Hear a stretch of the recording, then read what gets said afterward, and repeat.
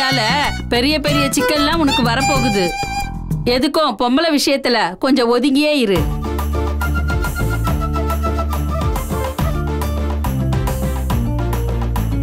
அண்ணன் யாரு நினைச்ச? பொம்பளைனாலே அவருக்கு அலர்ஜி எப்பவுமே அவர் பத்தடி தான் நிற்பாரு அக்கா விஸ்வாமித்தர் தெரியுமா? ராமர் தெரியுமா? அந்த மாதிரி தான் எங்க அண்ணன். நேரங்காலம் வரும்போது அதுவா நடக்கும். வரப்போறவ உன்னை கட்டி வச்சு மிதிப்பா. அப்பாடா. அப்ப தம்பி கல்யாணம் பண்ணிக்கிட்டு புள்ள குட்டியோட சந்தோஷமா வாழ போறான்னு சொல்றேன் நல்ல வாக்கு சொன்னக்கா. இதற்கு உன்னிடம் பதில் இருந்தால் பட்டுன்னு கூறு. இந்தாக்கா உன்னூறு சாமி என்னப்பா இது? இங்க பாரு. எனக்கு பொம்பளை வாசனையே சுத்தமா பிடிக்காது. எனக்கு மட்டும் கல்யாணம் ஆகாதுன்னு சொல்லு. நூறு ரூபா என்ன? இன்னும் நூறு ரூபா சேர்த்து போட்டு கொடுக்குறேன். சரி நீங்க நல்லா இருக்கணும்னு நான் வாக்கு சொன்னேன். இப்போ நான் நல்லா இருக்கணுன்றதுக்காக மாத்தி சொல்லணும்னா சொல்றேன். எல்லாத்தையும் அந்த சீலக்காரி பாத்துக்குவா. உனக்கு கல்யாணம் ஆகாது போதுமா? அது. அண்ணா அண்ணா ஒரே ஒரு நூறு தானே வச்சிருக்கேன். இப்ப மொத்தம் இருநூறு ரூபா. தம்பி உண்மைக்கும் நூறு தரீங்க பொய்க்கும் நூறு தரீங்க. ரொம்ப நன்றிப்பா நான் வரேன். மகிழ்ச்சி. வாங்க. ம், என்னப்பா கேட்டீங்களா? எனக்கு கல்யாணம் நடக்காது. அட தம்பி போனேன். நான் சொன்ன வாக்கு பொய் இல்ல. உனக்கு கல்யாணம் மட்டும்தான் ஆகாது. மத்தபடி ஒரு குடும்பஸ்தப்படுற எல்லா இம்சையும் நீ படுவ. ஆக மொத்தம் மாட்டிக்கிட்டு லோல் படுவ. குறிச்சு வச்சுக்க. டேய், அட. போப்பா. அப்படியே ஓடி போயிரு. பைய தூக்கிட்டு வந்துடுறது. ஆ. அண்ணா வரப்போற பொண்ணு எப்படி இருக்கும்னு யோசிச்சுட்டு இருக்க போல? ஆ? அப்படி வரப்புற பொண்ணுகிட்ட நீ வாங்குவ பாரு இதே மாதிரி.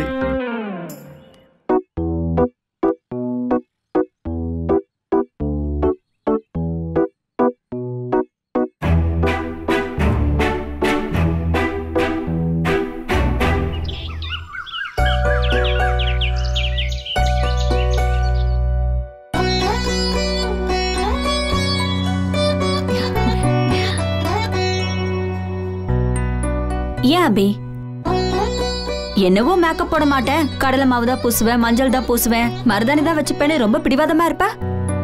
இப்ப என்னடான்னா இப்படி ரெடிமேட் கோன் வச்சு டிசைன் போட்டுட்டு இருக்க உன் கொள்கை கோட்பாடுலாம் அவ்வளவுதானா? அட நீங்க வேற மேடம் கோணி எடுத்ததுமே அதுல இருக்க மெஹந்தி எல்லாம் கொட்டி கழுவ சொல்லிட்டாங்க. இப்ப போடுறது அவங்க கொடுத்த மருதாணி தான். அடிப்பாவி அப்படியே நினைச்சதுல பிடிச்ச பிடியா இருப்ப போல இருக்கே. பின்ன? அபியக்கனா சும்மாவா? எப்பவும் அவ அப்படிதான்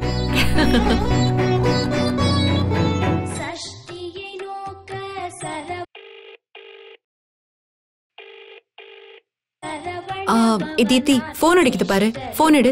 ஹம். இதோ உன் லவர் தான் கால் பண்றாரு. இந்த ரிங்டோனை வச்சுட்டு எப்படிதான் ரொமான்ஸ் பண்றீங்களோ? வேலைக்கே ஆகாது. ஹலோ அபி தர்ஷன் இது வரைக்கும் உனக்கு எத்தனை தடவை ஃபோன் பண்ணிருக்கான் ஆசையா பேசலான்னு கால் பண்ணா? யாருங்க குறுக்க பேசுறது? வர்ஷா அண்ணிதான் டேய் நான் தாண்டா கூட இருக்கேன். என்ன விஷயம்? என்ன ரொமான்ஸா ஆமா. இந்த வீட்ல ஒரு ரொமான்ஸ் கால் பண்ண முடியுதா? இப்ப என்ன ரொமான்ஸ் எனக்கு அதெல்லாம் பழக்கமும் இல்ல இன்ட்ரெஸ்டும் இல்ல. ஏ அபி என்ன இது? கல்யாணம் பண்றதே ரொமான்ஸ் பண்றதுக்கு தானே? ஏன் இப்படி ஓவரா பண்ற? என்ன தர்ஷன் இதெல்லாம்? இப்படிதான் நீ பேச போறனா நம்ம அப்புறம் பேசிக்கலாம். சரி இப்ப நீ சொல்ல போறியா இல்லையா?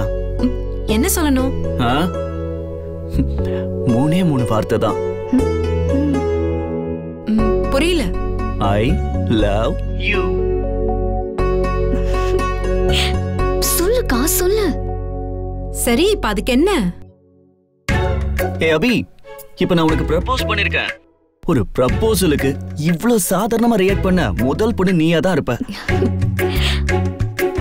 நம்ம கிட்ட யாராவது ஐ லவ் யூ சொன்னா ஐ லவ் யூ டூ அப்படின்னு சொல்லணும். ஐயோ தர்ஷன் எல்லாரும் கேட்டுட்டு இருக்காங்க?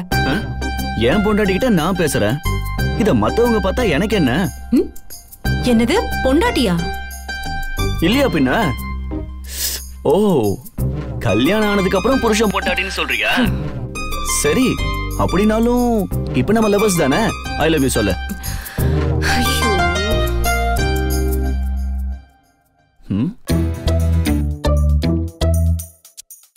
I love you I love you I love you? சரியா போச்சு. எதுக்கு இத்தனை தடவை சொல்ற? ஓ எக்கோ எஃபெக்டோ அது நான் சொல்லல என் தங்கச்சி சொல்றேன் அபி இதுல மூணாவது ஆளெல்லாம் தலையிட விடலாமா? எனக்கு நீ தான் சொல்லணும். எங்க? ப்ளீஸ் ஐ லவ் யூ சொல்லு. ஐயோ. ஹலோ மாமா. நீங்க தல ரசிகர் வாயில இருந்து கூட தளபதி வாழ்கன்னு சொல்ல வச்சிடலாம். ஆனா எங்க அக்கா வாயில இருந்து அப்படி ஒரு வார்த்தையை வர வைக்கவே முடியாது. ஏன் அப்படி? அக்கா ஃபாரின்ல எல்லாம் படிச்சிருக்கா. ஆனா ஐ லவ் யூ சொல்ல படிக்கல. அவ அப்படி சொல்லணும்னா நீங்க கொஞ்ச நாள் வெயிட் பண்ணணும். வெயிட் பண்ணணுமா? எவ்வளவு நாள்? ஃபர்ஸ்ட் நைட் வரைக்கும். கீர்த்தி அடி அங்க போற ஏய் நில்லடி. அபி அபி அபி. எனக்கு நீ தான் சொல்லணும். ப்ளீஸ் ஐ லவ் யூ சொல்ல. தீப்தி சொன்னது காதுல விழலையா?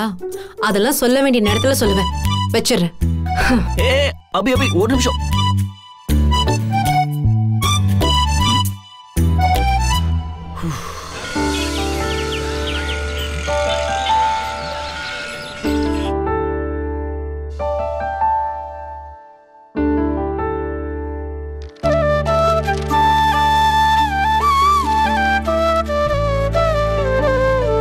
இந்தாங்க ஏன் கமலா? எங்க? ஒரு ரெண்டு பிள்ளைங்களையும் காணோம். சீக்கிரமே வெளியே போயிட்டாங்களா? பெரியவன் இன்னும் ரூமை விட்டே வெளியில வரல. ஏங்க? எந்திரிங்க.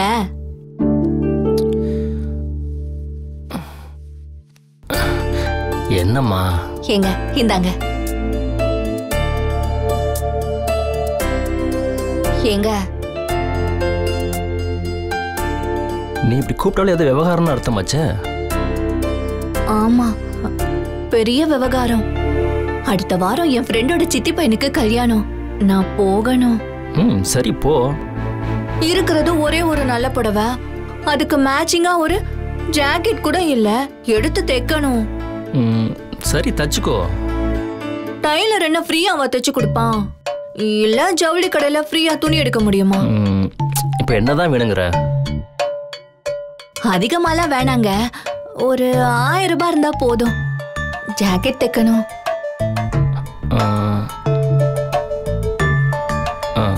அந்த ரோஸ் கலர் சட்டையாடா? பாக்கெட்ல எவ்வளோ இருக்கு பாரு.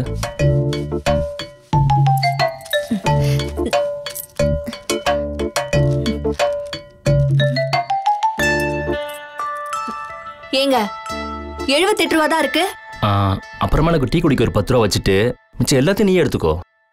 என் மொத்த சொத்தம் அவ்வளோதான் இதுக்கு மேலே என்கிட்ட எதுவும் கேட்காத. இதுக்கு தான் இவ்வளவு பில்டப்பா ஏங்க ஒரு ஆயிரம் ரூபாய் தர முடியாதா உங்களால நான் என்ன வீண் செலவுக்கு அவங்க கிட்ட கேக்குறேன்? நான் என்ன வச்சுக்கிட்டா இல்லைன்னு சொல்கிறேன் ஆமா எந்த வேலைக்கும் போகாதீங்க. ஒவ்வொரு வேலைக்கும் ஒவ்வொரு குறை சொல்லுங்க. அப்புறம் எப்படி காசு வரும்? சம்பாதிச்சா தானே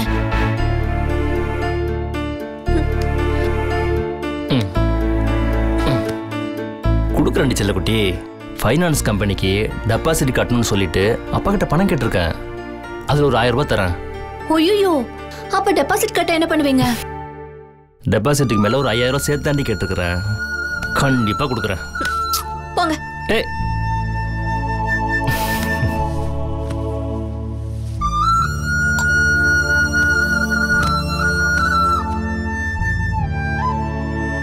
சின்னவன் இப்பதான் குளிச்சிட்டு உள்ள போனா? ரெடி ஆயிட்டு இருப்பான்னு நினைக்கிறேன்.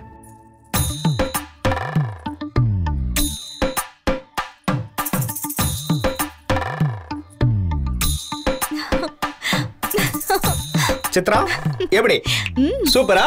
அட்டகாசமா இருக்கு. தேங்க்யூ இது இப்பவே போட்டுட்டு போய் என் ஃப்ரெண்ட்ஸ் கிட்ட எல்லாம் காட்டி பெருமை பீத்தன போல. மூச் சத்தம் வரக்கூடாது. சம்பாத்தியமே வரலன்னு பஞ்ச பாட்டு பாடிதான் பணம் சேர்த்து உனக்கு நகை நகையா வாங்கி கொடுத்துக்கிட்டு இருக்கேன். உன்கிட்ட நகையும் பணமும் இருக்குங்கிற விஷயம் இந்த ரூம் வாசலை தாண்டி வெளியே தெரியவே கூடாது? நாம தனி கொடுத்துன போவோம்ல ஒரு நாள். அன்னைக்கு அந்த நகை எல்லாத்தையும் போட்டுக்கிட்டு அசத்தோ அசத்தோன்னு அசத்தலாம். அது வரைக்கும் ஓகே ஓகே. இங்க பாத்தியா? என்கிட்ட படிச்ச பையன். யூபிஎஸ்சில டாப்பரா வந்திருக்கான். உத்தரகாண்ட்ல ஐஏஎஸ் ஆபீசரா போஸ்டிங் போட்டிருக்காங்க. போட்டோவை பாரு. இவனை ஞாபகம் இருக்கா உனக்கு? அட நம்ம தறி ஓட்டுற பெருமாள் பையன் தானே. அவங்க வீட்ல கரண்ட் இல்லைன்னு இங்க தானே இருபத்தி நாலு மணி நேரம் வந்து படிச்சிட்டு இருப்பான். அவனே தான் ஐஏஎஸ் டாப்பர் இருபத்தஞ்சு வயசுலயே கலெக்டர் இந்த பேப்பர்காரங்களுக்கு அவன் காஞ்சிபுரத்துக்காரன்னு போடுறதுக்கு மனசு வருதா? இல்லப்பா. கூடவே சேர்த்து ஆசிரியர் அரங்கநாதனோட முன்னாள் மாணவன் போட்டிருந்தா கூட நல்லா இருந்திருக்கும்ல ஆனா பேப்பர்ல இடம் பத்திருக்காது போல. என்கிட்ட படிச்ச அத்தனை பேரும் இப்ப பெரிய லெவல்ல இருக்காங்க. நீங்க ரெண்டு பேர் தான் உருப்படாம ஊரை சுத்திக்கிட்டு இருக்கீங்க. ஏன்பா நேத்து அந்த மில்லு வேலைக்கு இன்டர்வியூக்கு போனியே என்னாச்சு? போலப்பா. ஏன்? மில்லு வேலைக்கு போனா ஐயாவோட கௌரவம் குறைஞ்சிருமா? அக்கௌண்டன்ட் வேலைக்கு தானப்பா ஆள் எடுத்தாங்க? அதெல்லாம் சரிதான்ப்பா. அந்த மில்லு பக்கம் போய் பார்த்தேன் காத்தெல்லாம் ஒரே காட்டன் தூசியா இருந்துச்சுப்பா. எனக்கு ஒத்துக்காதில்ல அதான் போல. அதுக்கு மாஸ்க் போட்டு போய் வேலை பார்க்க வேண்டியது தானே தண்ணி குடிக்க சாப்பிட மாஸ்கை கட்டும் போது தூசி உள்ள போயிடும்லப்பா. அவருக்கு ஏற்கனவே சைனஸும் வீசிங்கும் இருக்குன்னு உங்களுக்கு தெரியும்ல மாமா? அவர் எப்படி அங்கெல்லாம் போய் வேலை பார்க்க முடியும்? இப்படியே ஒவ்வொரு வேலைக்கும் நொட்ட சொல்லிட்டு இருந்தா உருப்பிட்டா மாதிரிதான். அப்பா அந்த ஃபைனான்ஸ் கம்பெனியில் கலெக்ஷன் ஏஜென்ட் வேலை இருக்குன்னு சொல்லியிருந்தாலப்பா டெபாசிட் கட்டினா அடுத்த நாளே வேலை கிடச்சிரும். ஆனால் நீங்கள் தான் எழுத்து அடிச்சிட்டு இருக்கீங்க. ஏன்பா இருந்தா தானப்பா தர முடியும்? நீ திடீர்னு இருபத்தஞ்சாயிரம் கேட்டா நான் எங்க போறது? சின்னவன் எங்க?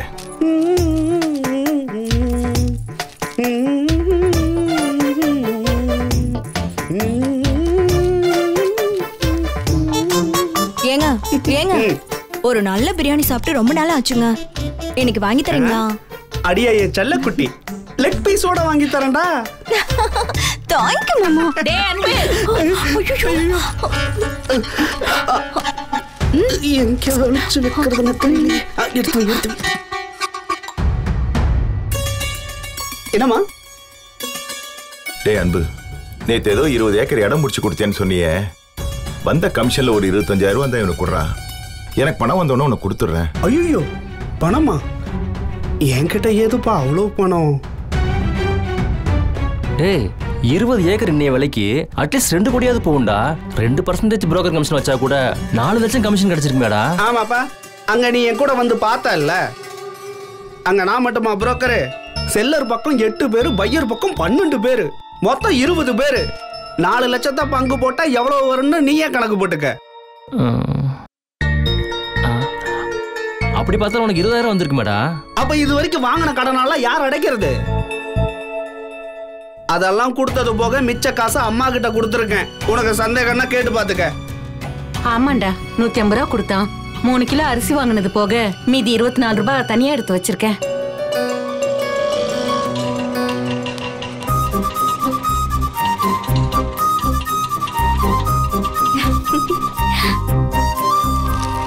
ரிட்டையர் ஆனதுக்கு அப்புறமும் அப்பா வாங்குற பென்ஷன் காசுல குடும்பம் நடத்தணுமேங்கிற குற்ற உணர்ச்சி உங்க ரெண்டு பேர்ல யாருக்காவது இருக்கா?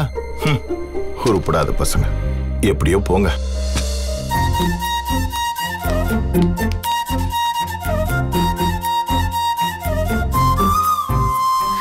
அத்தை? ஹாய் ரவுடி பேபி ஹாய் அது என்ன ரவுடி பேபி கேட்கவே தப்பா இருக்கு? அது வேற ஒண்ணும் இல்லப்பா. நம்ம வெற்றி ரவுடியா திரியிறான். அவனை கட்டிக்கணும்னு இந்த ராதா புள்ள அவன் பின்னாடியே திரியுது. அவன் ரவுடி. அதனால இந்த பிள்ளை ரவுடி பேபி. அப்படிதானம்மா? ஆ. அந்த கேடுகட்ட பயலுக்கு இது ஒண்ணுதான் குறைச்சல். எல்லாம் என் தலையெழுத்து.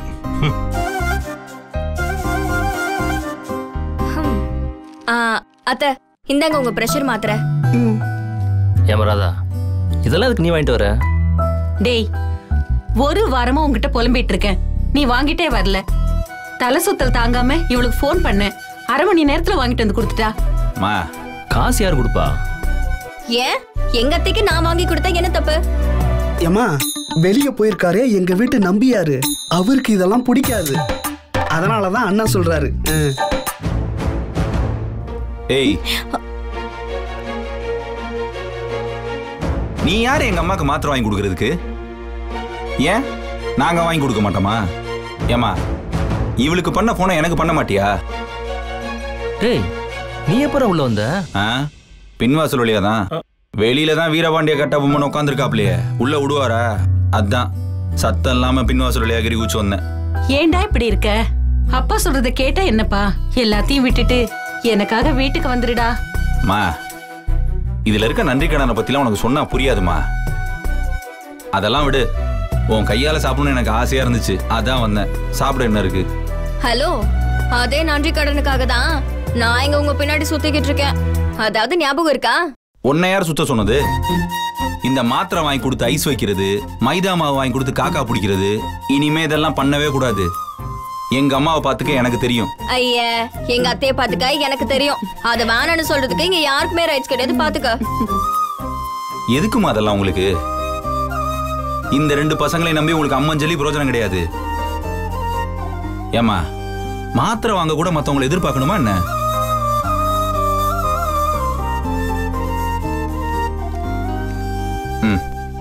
இதை உன் கையில வச்சுக்க. மா சின்ன சின்ன செலவுக்கு ஆகுமா மருந்து மாத்திரையாவது வாங்கிக்கலாம்ல? புடிமா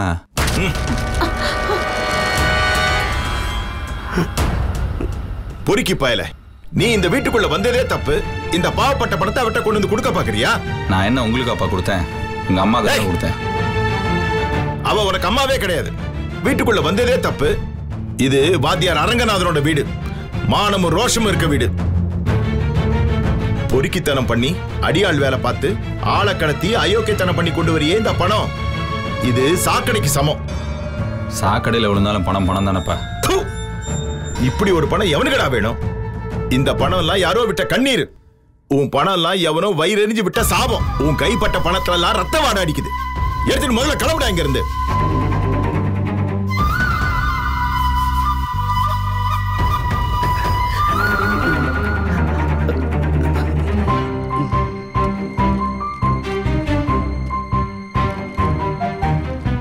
டேய் வெற்றி. இருடா சாப்பிட்டு போயேன். பசின்னு சொன்னல உன் புருஷன் தான் வயிறு நிறைய போட்டாரு. அப்புறம் என்ன? நில்றா. நியாயமா இந்த வீட்டுக்குள்ள உன் நிழல் கூட விழாமத்தான் நான் வாழணும். உன்னை பெத்தவ வயிறெறிஞ்சி கண்ணீர் விட்டுறக்கூடாதுங்கிற ஒரே காரணத்துக்காகத்தான் நீ வர்றதுக்கும் போறதுக்கும் சாப்பிடறதுக்கும் அனுமதி கொடுத்துருக்கேன். சாப்பிட வந்தல்ல சாப்பிட்டே போ. உங்க அக்கறைக்கு ரொம்ப நன்றிப்பா. ஆனா ஒரு நாள் இல்ல ஒரு நாள் உள்ள வாடா. சாப்பிட்றான்னு சொல்ற நிலைமை வரும். அன்னைக்கு வந்து நான் சாப்பிட்டுக்கிறேன். அந்த நிலைமை நாளைக்கே கூட வரலாம். அது உன் கையில தான் இருக்கு. அந்த பொறுக்கி பூங்காவனத்தோட சாவகாசத்தை விட்டுட்டு வா. நீ தெருவுல கடலை வித்தாது பத்து ரூபா கொண்டாந்து வீட்டுல குடுறா. அந்த பணத்தை நான் கண்ணில் ஒத்தி உன்னை கட்டி பிடிச்சி வீட்டுக்குள்ள கூட்டு போறேன். எனக்கு உயிர் கொடுத்தது வேணா நீங்களும் அம்மாவும் இருக்கலாம்ப்பா. அதுல எந்த மறுப்பும் கிடையாது. ஆனா இந்த உடம்புல இன்னைக்கு வரைக்கும் இந்த உயிர் தங்கி இருக்குன்னா அதுக்கு பூங்காவன் அண்ணன் தான் காரணம். சொல்ல போனா என் உயிரே அவர் தான் உசுரை விட்டு யாராவது இருக்க முடியுமா? மா வரமா